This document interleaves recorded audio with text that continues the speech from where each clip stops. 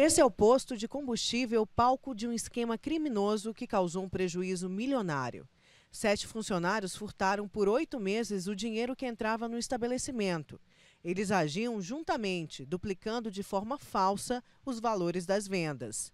Entre todos os que trabalhavam no local, apenas uma funcionária não estava envolvida. O rombo nas contas do dono do posto ainda é contabilizado. Além da denúncia anônima e também da guia que o gerente viu, o que levantou a suspeita dele foi a mudança de comportamento dos funcionários, que ganham um salário mínimo praticamente com os descontos.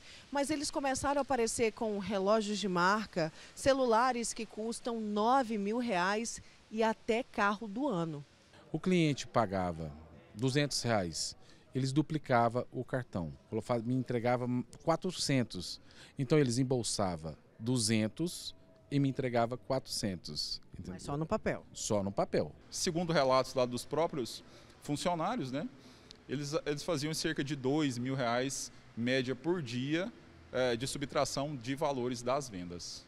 O gerente chegou a receber uma denúncia anônima, contando como funcionava o esquema, falando detalhes de como eles duplicavam os valores e ainda de uma tentativa de envenenamento contra ele. No dia, o Ruberson comeu o bolo dado por um dos criminosos e passou muito mal. O que para mim foi mais doído foi é, o que foi falado, que foi querer me matar né? Então a maioria, até eles mesmos ficaram chocados, porque ah, mas eu não sabia, né? mas todos confessaram, todos falaram o que fizeram.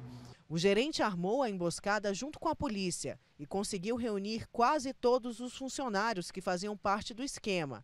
Essa é a foto do momento da prisão. Duas mulheres e cinco homens foram presos. Durante essa reunião, ele indagou os mesmos lá sobre os fatos.